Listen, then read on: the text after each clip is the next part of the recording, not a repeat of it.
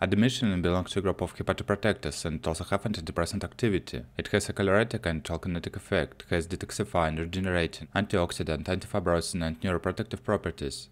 Indications Auxiliary therapy for established chronic liver diseases to improve and maintain its functions. Increase fatigue in established chronic liver diseases. How to use the recommended dose is 10 to 25 mg of ademetionine per 1 kg of body weight per day. Usually the daily dose is 1 to 2 tablets per day from 400 to 800 mg of ademetionine per day and can be increased to 4 tablets per day, up to 1600 of ademetionine per day.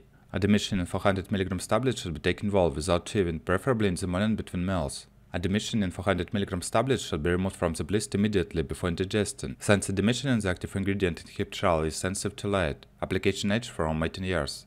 Contraindications Genetic disorders affecting the methionine cycle and are causing homocystinuria and or hyperhomocystinemia, deficiency of cystathionine and beta synthase, impaired metabolism of vitamin B12, hypersensitivity to any of the components of the drug, age up to 18 years, experience with medical use in children is limited, bipolar disorders, carefully, pregnancy, first trimester, and breastfeeding. Use is possible only if the potential benefit to the mother outweighs the possible risk to the fetus or child. Simultaneous use with selective serotonin reuptake inhibitors, tricyclic antidepressants such as clomipramine, as well as herbal preparations and preparations containing tryptophan.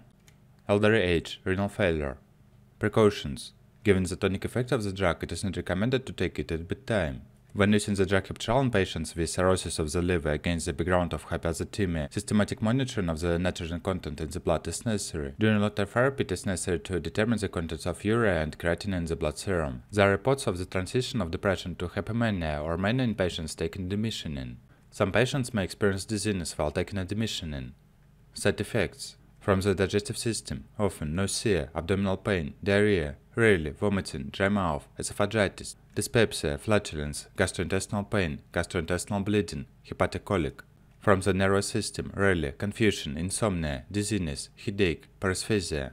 From the musculoskeletal system, rarely arthralgia, muscle cramps. From the urinary system, rarely urinary tract infections. On the part of the skin, rarely hyperhidrosis, itching, skin rash. Local reactions, rarely reactions at the ejection site. Very rarely skin necrosis at the ejection site.